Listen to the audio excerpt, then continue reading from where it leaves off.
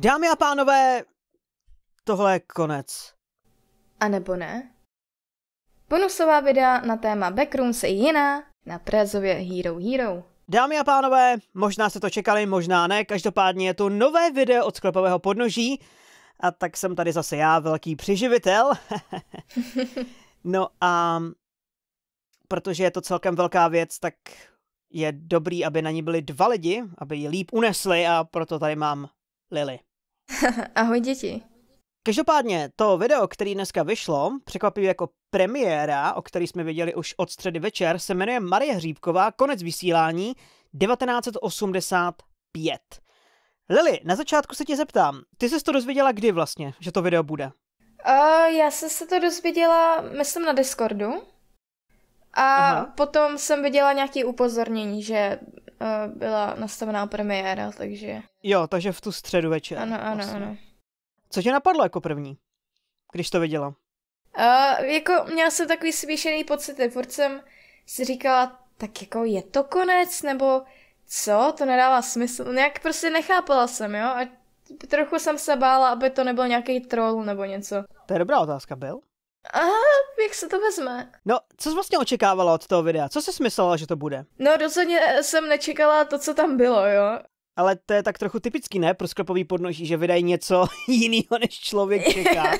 Jasně, no. Um, já vím, že spousta lidí čekala konec, že třeba předpokládali, že to bude nějaký půlhodinový video, ve kterým se kdo ví, co odhalí jasně, a tak. Jasně, jasně, jasně, no. Ale... Ale nakonec jsme dostali video, který má asi, já nevím, tři minuty, tři a půl minuty, z čehož asi dvě a půl minuty je soundtrack, no.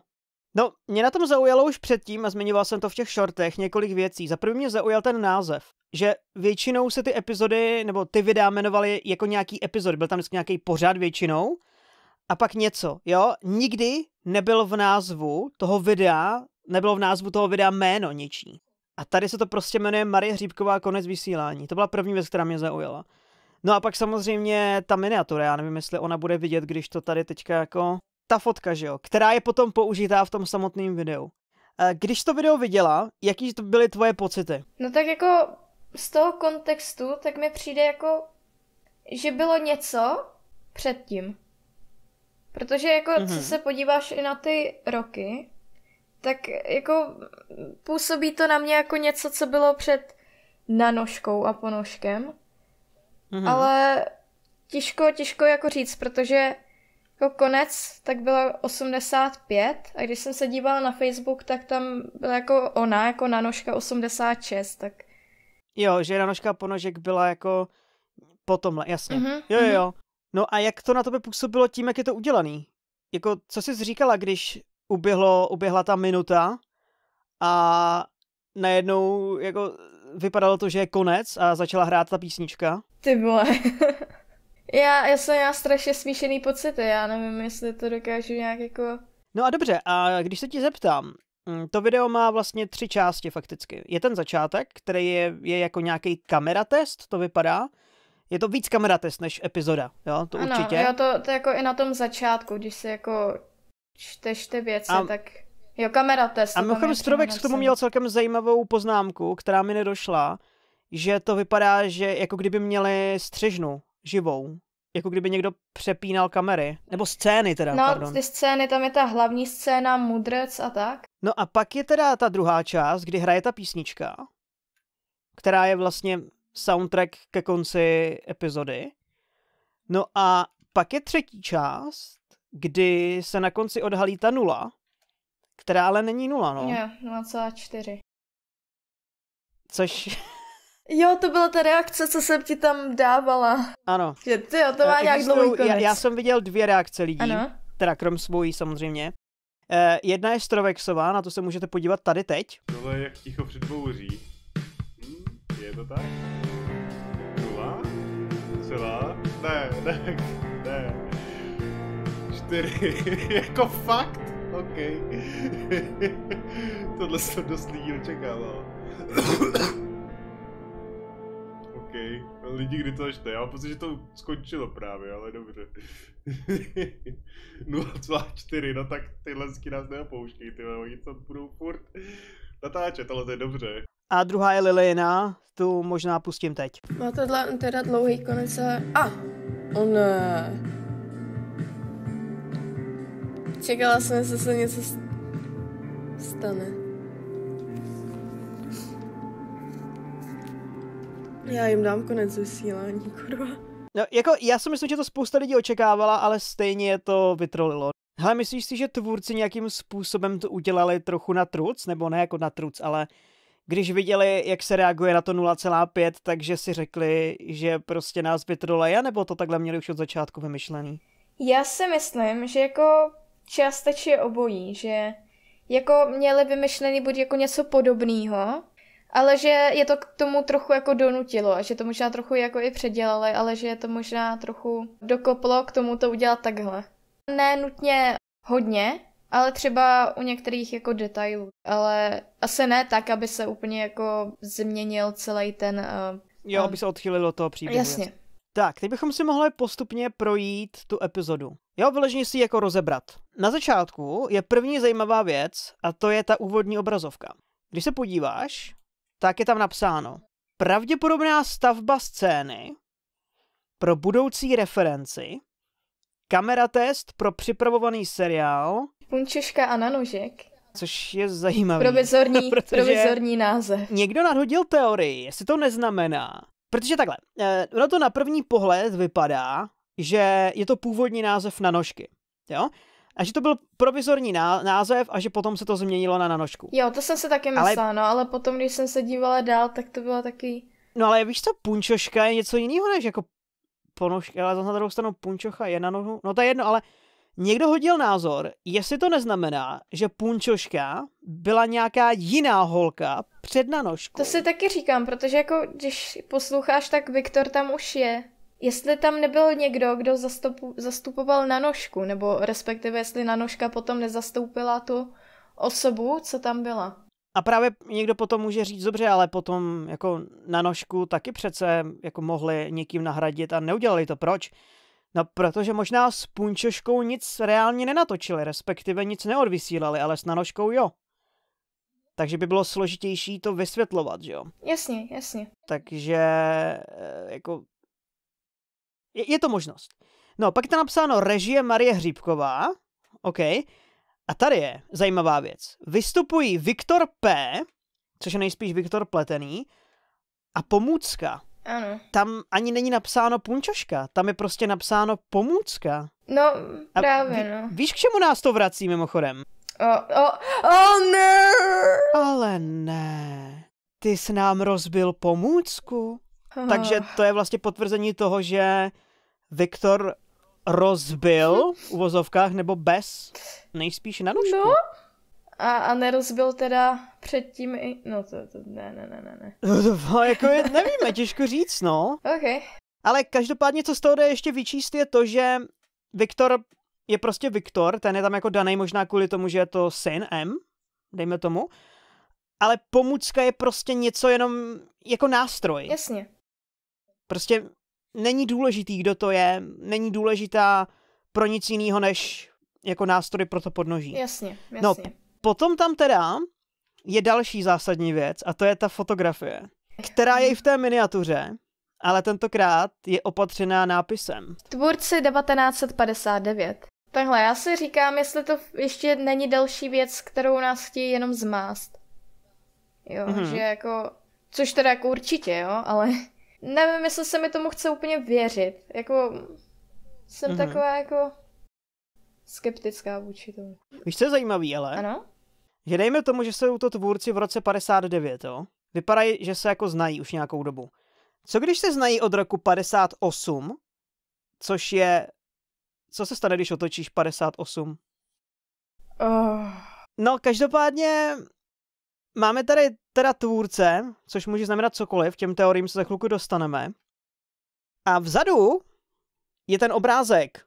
Mm-hmm. Domov. Jo, jo. Který používám i ve svých videích. No a potom je teda slyšet pískání někoho, nevíme koho. Já nevím, dokážeš identifikovat pískání, jestli je mužský nebo ženský? Já si myslím, že to bylo mužský. Počkej, ještě se poslechnu. Zní to jako mužský, jo, ale kdo ví, jo, taky že některý ženský mají jako hlubší hlas. Hlubší pískání. Hlubší pískání. Takže záleží. No, každopádně je tam teda slyšet pískání a zvuky, které znějí jako šoupání a přesouvání něčeho. Nebo nebylo to jako otevření dveřma? Jako, že někdo Máš vešel a... Ne, on tam vyloženě to zní, jak když... Jo, ně, Něco něco, jako- tam jako jako, stůl ráne, třeba. no, nějaký. No a Mhm. potom se ozve rána, Ano, to pískání přestane a ozve se M jo. a řekne No tak, Viktore, na zahálku není čas, což znamená, že něco dělají. Něco. Možná, já nevím, budou malovat třeba.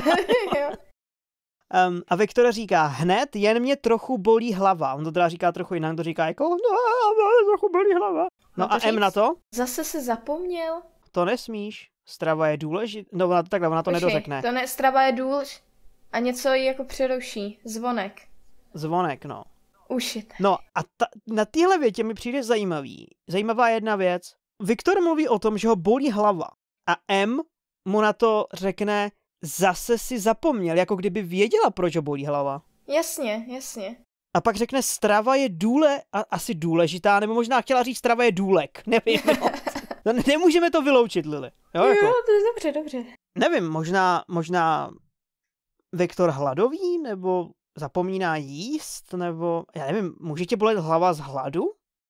Hele, hypoteticky ano. Jako může ti bolet hlava skoro z čehokoliv, jo. Takže těžko. No to je pravda, na druhou stranu. Těžko říct. A možná, možná má jako jenom špatnou stravu a z toho ho bolí hlava. Záleží. To je taky možné, ale říkám si, když tam ta věta je, že vem si, že M tam řekne asi jako, nevím, čtyři věty a polovina z toho je tohle, No, tak mi přijde, že to asi něco znamená. jasně, jasně.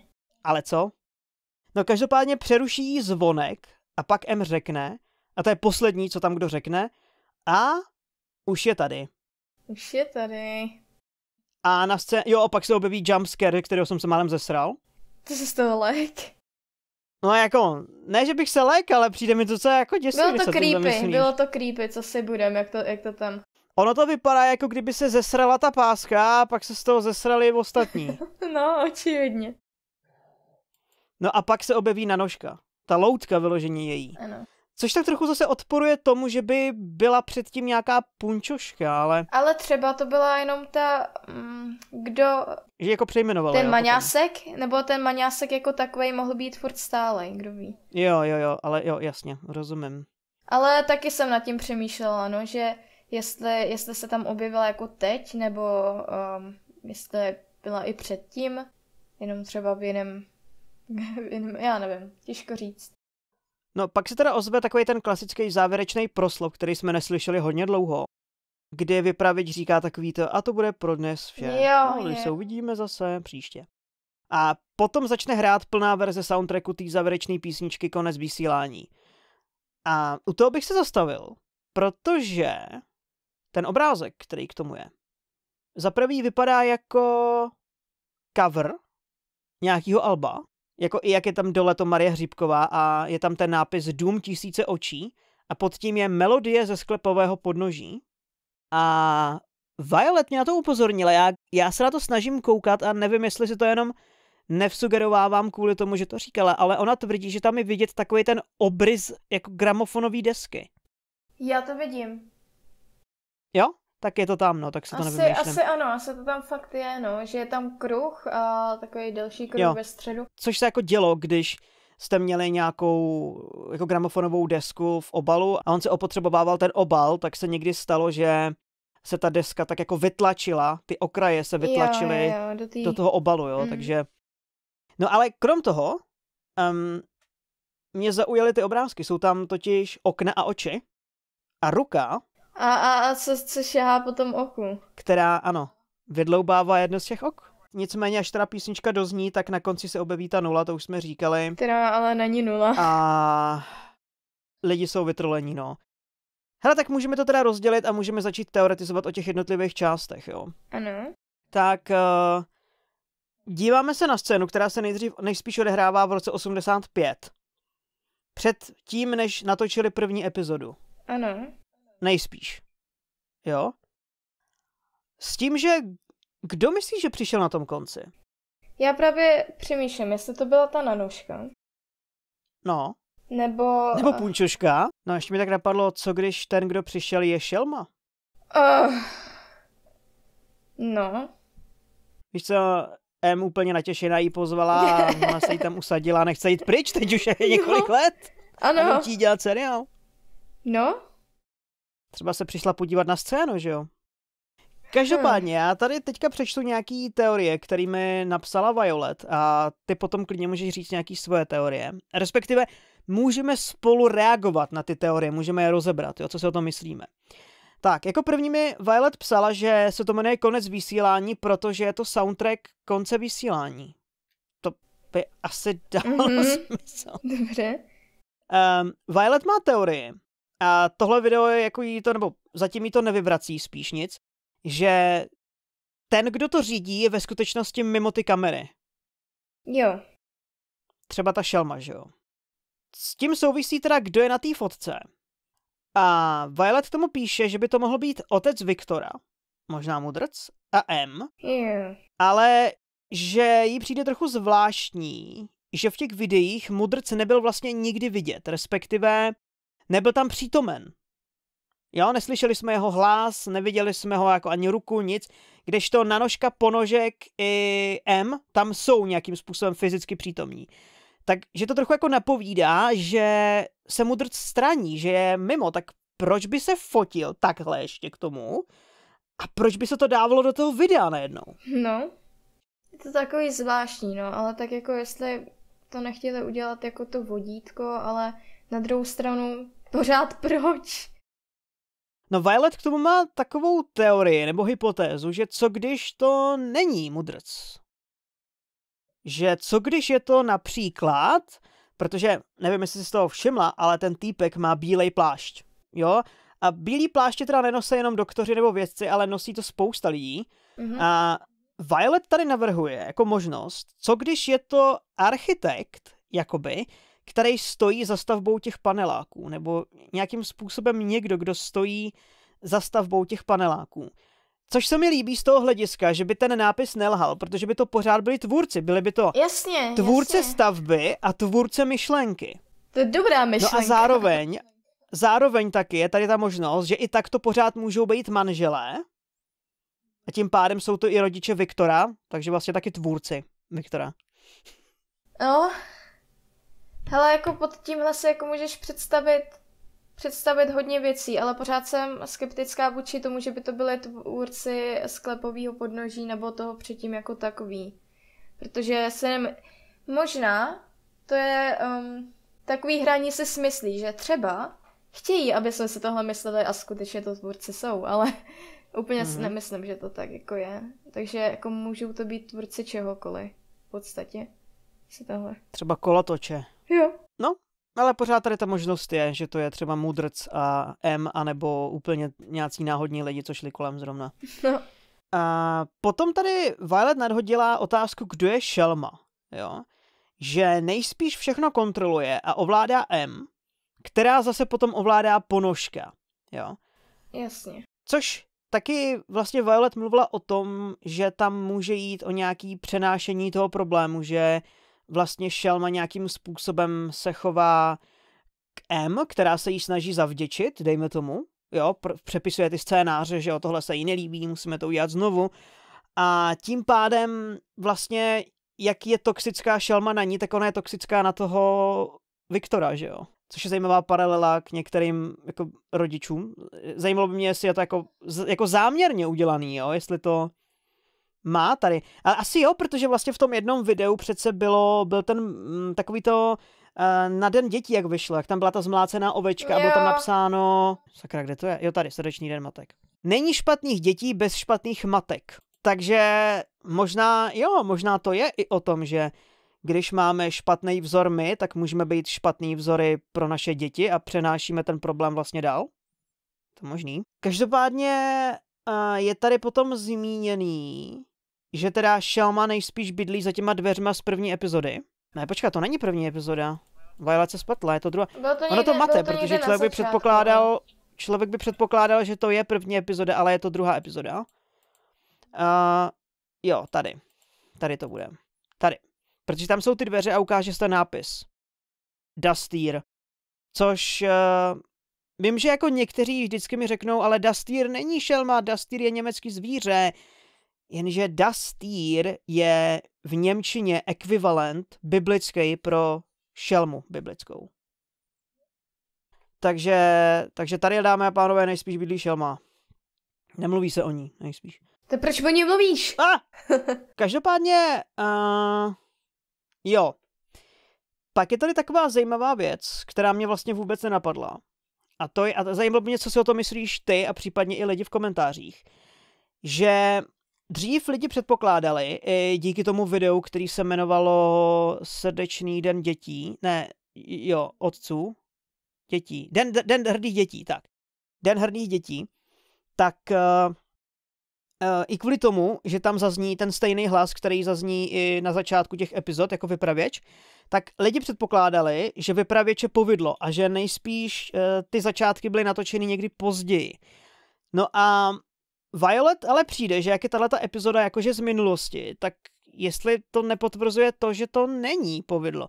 Já si tím teda jako nejsem jistý, protože já si myslím, že to klidně mohli přidat i sem. Na druhou stranu, kdyby to tak teda bylo, tak je otázka, kdo by vypravěč byl a Violet teda nadhazuje tu možnost, že by to byl modrc, respektive otec Viktora. Ale mně to přijde už takový trochu překombinovaný. Jako na povidlo... Protože nevím. proč by jako otec Viktora zněl stejně jako jeho vnuk, nebo jako... What the fuck? A hlavně teda jako Vizory, to je jako další věc. Tak, Kurva.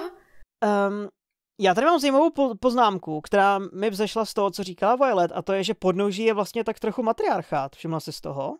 Mhm. Protože všechno řídí M, nebo minimálně jako viditelně, a ten, kdo je nad ní, tak je taky zmiňovaný v ženském rodě, jako ta šelma. Jasně, no. Vidíte, takhle by to dopadlo, kdyby jsme to... Prosím. hele, hele, hele, hele, hele. hele. No a Violet měla zajímavou poznámku ještě k tomu zvonku. Uh, co pak mají lidi ve sklepě zvonek? Oh. Pr- pokud jo, tak proč se v té první epizodě klepalo? No. A pak k tomu dodává celkem zajímavou věc, která dává smysl a to je, že možná tady ještě nejsou v tom podnoží, ale v bytě. Jasně, to jako, i když se... Že se to zkoušej podívám. teprve. Jo, vypadá to i tak jako mm, čist, ne čistěji, ale když se podíváš jako na ty záběry, tak vypadají o dost jinak než... Počkej, já se to porovnám. No, to je úplně jiný, ten, ten, uh, i ten obraz je trochu jiný. Ten domov. No, Takže fakt jako i, i tady to světlo vypadá tak jako víc uh, jinak, než tam, kde to vypadá, že mají fakt jako velký okno. jo. No a teď mi teda řekni, to je za Violet, vše, za Violet všechno, teď mi teda řekni ty svoje teorie, co si myslíš? Co tě napadlo k tomu? No, to, to byly prostě ty věci, co už jsem tady říkala. Takže jako... Aha, já nevím, co víc. Cože? takže jsme na konci videa vlastně. No, jako to už bych se jenom opakovala. To už byly věci, které tady byly řečený, že to byl asi seriál, který byl předtím, ale nedokážu říct, jestli to, co je teď, jestli je to jenom nějaký delší seriál, nebo je to jenom nějaký remake toho, jako těžko. Jo, takhle, jestli jako to zkoušeli, no, možná ne ani remake. A co když to není ani remake? Co když tam jako byla druhá holka, ale umřela dřív, nebo odešla, nebo zmizela prostě dřív, než vůbec začali natáčet? Možná, možná, A pak to ví. předělali, udělali z toho nanožku a ponožka a už si pojistili tu druhou typku. Jo. No, Upevnili pouta. jo. No dobře, já přemýšlím, jestli k tomu ještě něco mám. E, doufám, že se vám to video tady tímhletím způsobem jako debata líbilo. Já jsem původně přemýšlel, jako jak to zpracovat, ale myslím si, že debata je asi ta nejlepší varianta. No a napadla mě ještě poslední věc. E, někdo mi psal, já už jsem bohužel nedokázal ten komentář dohledat, ale že vlastně dneska jsou tři králové. Sklopový podnoží vydává ty videa, že jo, na takový jako zvláštní dny. No ale ti tři králové jsou vlastně taky někdy nazývaní jako tři mudrci. Tak máme zase něco v hlavě. Každopádně, dámy a pánové, tohle bylo moje a Lilino zamýšlení nad tímhle videem. Pokud máte jakýkoliv otázky nebo nápady, tak můžete podělit dole do komentářů. Na mém Hero Hero bude neskrácená verze tady tohohle povídání, protože spoustu jsem toho musel vystřihnout. A taky tam bude asi desetiminutový úvod, kdy jsme se nějakým způsobem snažili začít natáčet, ale existence byla proti nám. Je to docela vtipný, tak uh, taky na herohero.co lomeno préza. Lili, chceš na závěr ještě něco říct? No, mějte se krásně, děti. Uh, umýjte si uši, všechno možný. Miluju Zuby. vás, jste úžasný, běžte spinkat. Jo, ještě jedna věc mě napadla. Okay. Uh, 0,5 a 0,4 byly ve videu, ale všechny ty předchozí odpočty byly ve fotkách. Jo. To je zajímavý. Mhm. Ha. Jo a taky mimochodem Strovex vydal ve středu video o sklepovém podnoží, jenom jako chvilku předtím, než jo, to podnoží bylo... zveřejnilo tu premiéru, takže já jako just taky... saying, just saying, nechci jo, zaznačovat, just saying. Tak, dobrou noc. Dobrou noc, děti, miluju vás, jste úžasný. Čau. Ahoj. Ahoj.